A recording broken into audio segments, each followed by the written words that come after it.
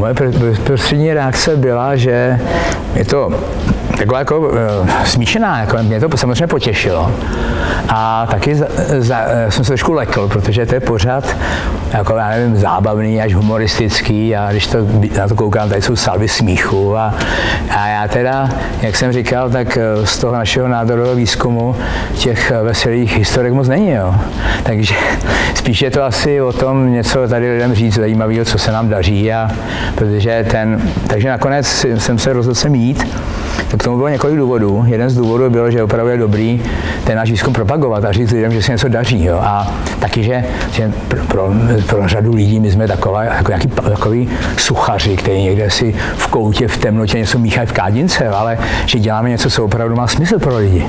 No a další takový rozhodující byl, když jsem, byl, když jsem se dozvěděl, že budu, nebudu pod, po, po nevím, nějaký rozjuchaný herečce, což jako jsem je skvělý, ale prostě úplně se to nehodí. Budu, budu za Vladimírem Myšíkem, kterého si strašně vážím a kterého jsem už jako na Gimplu obdivoval a pořád ho obdivuju. To, mě, jako, to bylo několik důvodů, proč jsem se rozhodl se mít.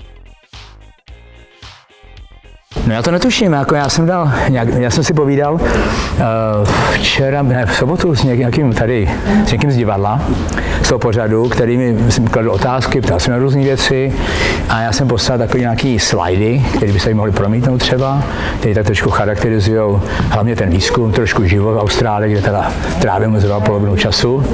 Takže netuším, ale nepochybně se to bude týkat naší práce. O tom teda nepochybuju.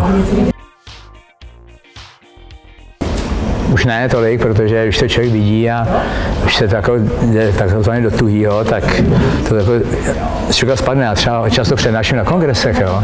A já se mám třeba trošku tému předtím, mi to nastane, tak to ze mě spadne a už to nějak odsejpá, už to vlastně žije vlastním životem a tak nějak, myslím, že to bude dobrý, no.